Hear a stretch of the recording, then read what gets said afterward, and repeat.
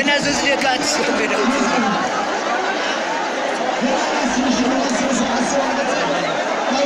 Thank you.